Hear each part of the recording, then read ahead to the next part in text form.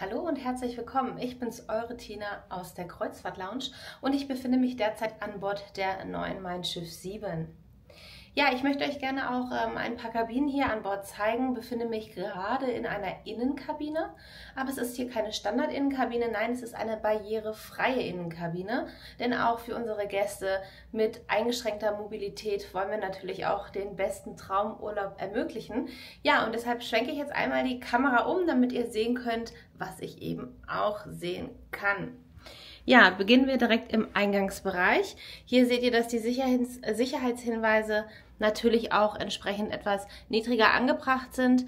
Das heißt, wir befinden uns jetzt hier in der 3018. Das ist auf Deck 3 im vorderen Bereich des Schiffes.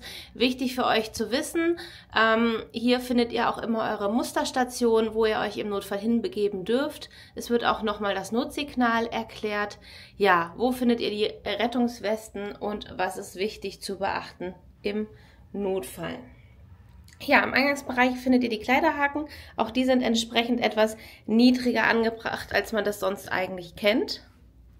Dann geht es hier auf der linken Seite weiter mit dem Badezimmer. Da gehen wir einmal direkt als erstes rein. Die Dusche ist natürlich entsprechend großzügig gestaltet, sodass ihr hier ähm, ja die Handläufe findet, eine Sitzmöglichkeit und natürlich der Eingangsbereich ist barrierearm, sodass man halt eben dort auch mit dem Rollstuhl gut Platz hat.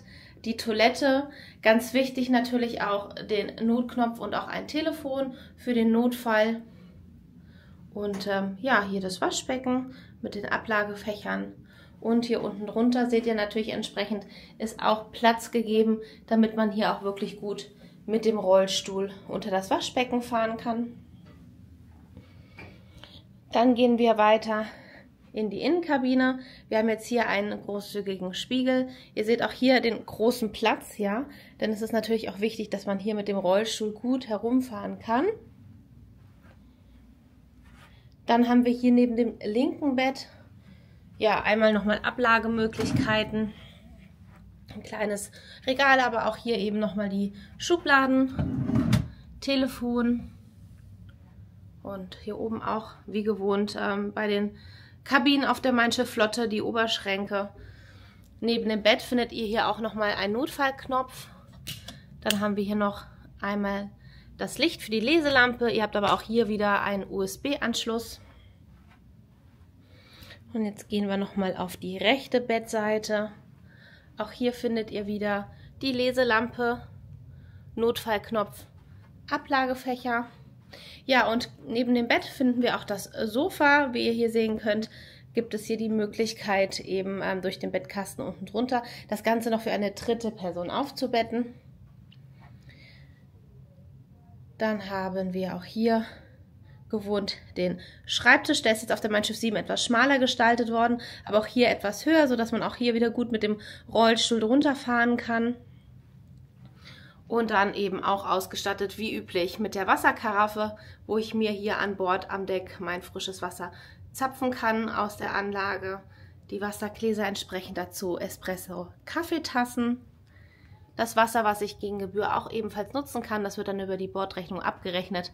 Und die Kaffeemaschine darf natürlich auf der Mein Flotte auch nicht fehlen. Hier an der Seite findet ihr außerdem noch weitere Steckdosen, Lichtschalter, der Föhn ist natürlich auch da.